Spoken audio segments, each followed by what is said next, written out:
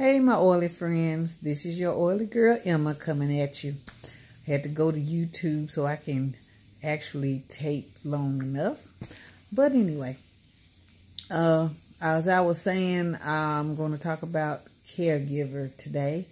And myself, my two older sisters, and even my brother, they, we are caregivers to our mom, Miss Gladys.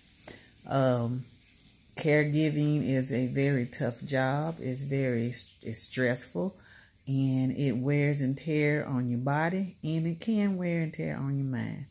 Anybody out there that does take care of a, a older parent or sibling or um, children, then you know what I'm talking about. But the thing that um, caregivers need to do is to definitely take care of themselves. Sometimes I don't do that. I'm gonna admit it.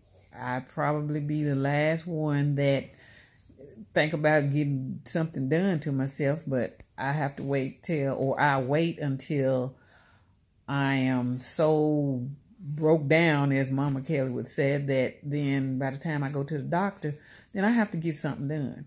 And I shouldn't do that. I have to take care of myself so I can be a caretaker or caregiver. But what do y'all say about that? What are your sentiments on it? What do you think about it? Um, give me your sentiments in the comments below. But to be a caregiver, you got to take care of yourself. You have to uh, make sure that your health is in good shape because Believe me when I say it will wear you down. It will wear you down in so many ways. Uh, Mama Gladys, she has uh, Alzheimer's, and you know she's doing fairly well, but we can tell that there is a decline that is going on, and we have to address that. But um, we are doing our best to make sure she is comfortable that she is taken care of and not needing anything, you know, not in want or anything. So that's what caregivers do. But as I say, we have to take care of ourselves. I can give you an example of a uh, older couple in my volunteer work. We go from door to door, talk to people about the Bible, and this particular person or a couple, they're I think they're in the 80s. The husband was the caregiver, and the wife has Parkinson's disease, so he was taking care of her. And mind you, he did a good job. He made sure she had a bath. She made he made sure she ate. He did everything that he possibly could to keep her comfortable. But then I went to visit them, me and another friend, when we was in our ministry, and came to the door, and a lady came to a caregiver, a well, a home health person, I guess, came to the door, and we asked how, you know, how they were doing, and she said, well, uh, the the husband had fell and broke his neck, so he was in the hospital, and then they put him in rehab. Me and my sister they we said okay well, that's you know we'll go visit no problem. I mean we hate that that happened. So we went to visit the uh, older gentleman and he had the thing around his neck. They was giving therapy to him and so he said he was going to be you know doing well. He said i'll be home about two three days. And i said okay well we'll come and see you at the house. Went back after like i think the week after that went back to his home to see him and his wife. And the home health person came to the door and we and she let us in. And we said, Well, hey, where's Mr. Well, I'm not gonna say his name, but uh where's the the the uh Mr. Man, I call him Mr. Man. Uh and she said he died. And we like, What? He died? I said, Oh my goodness. I was floored. I was I was beside myself. I could not, you know, because he said, well, I'll be home in two, three days.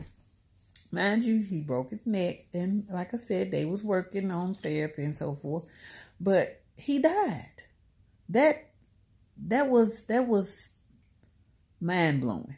So to make a long story short on that situation, he was the caregiver and the caregiver died.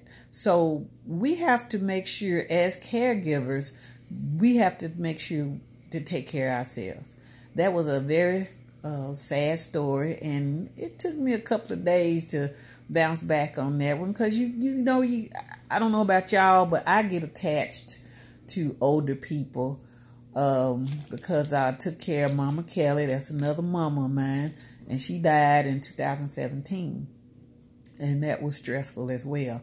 So you know to to have older people, the older ones that you get attached to, they die. It's just it's mind boggling. So what we need to do as caregivers we need to make sure that we take care of ourselves so we can take care of our loved ones because now with the wife i don't know if they got kids or not but when i go back to visit her when i get a chance to go back to visit her there's no kids there they always have a caregiver or or a home health somebody that's being paid to take care of her because she can't take care of herself.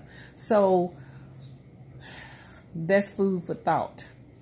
But anyway, I'm going to close on that note. And hopefully someone out there that, that, that sees this, that are caregivers, remember, take care of yourself. I got to do it myself. I'm guilty of it. I don't do the job I need to do to take care of myself. So I got to get on my game. I got to up my level so I can take care of my mama Gladys. But y'all have a nice day today. Enjoy it even though it's cloudy and kind of gloomy. You know, we'll make the best of it. But we will talk to you tomorrow. Probably be early because I got a rough schedule tomorrow. But anyway, y'all have a good day. Talk to you later. Deuces. Bye.